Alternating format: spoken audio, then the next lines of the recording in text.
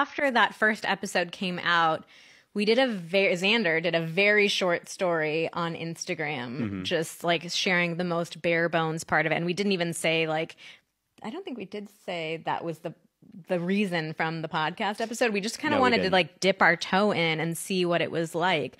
Unfortunately, the responses that we got were so supportive. Yeah. Like people were just really kind and shared like thank you for your vulnerability and your honesty and sharing that.